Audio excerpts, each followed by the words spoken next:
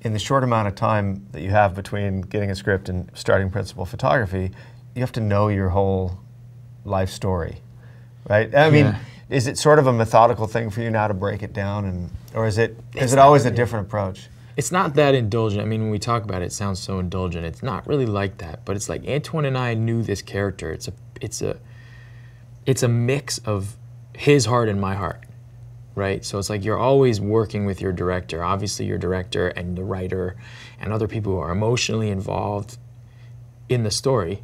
Like they, they have a reason. uh, The reason they've come to this project, like we always we do it's not so much like okay well we do know for instance with billy hope like he came from foster care he went through the system i had watched a number of documentaries about kids who were boxing and one of them actually happened to be an orphan and i i just stole his entire backstory he talked about how he had been through what he had been through and that and the houses he had the, the homes he had gone through and um, and his emotional connection to it which was something he was far away from he wasn't like talking about how it made him feel. He was just like going through the, and I- and I just I just stole lots from him there.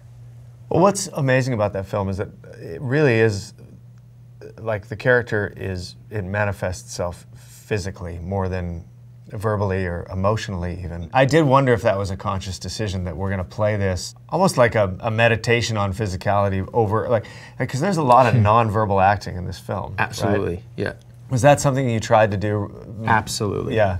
it's all body. Boxers are all body.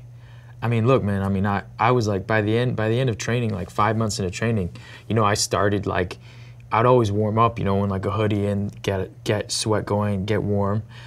By the end, like the outfits I was wearing, I was wearing like lime green shorts and no shirt with like fluorescent yellow socks and like I was painting my shoes like and I was like what is that? In in the ring your offense and your defense is working at the same time as well as your body and your mind. It's a mind game at the highest level. And you know you're confident. When you talk about it it's like I'm it, it, I can feel the confidence of who he is come through like I didn't give a fuck Right. and that can be really dangerous in reality No, but I, I think there are other people who give a fuck less than you who could definitely fuck you up.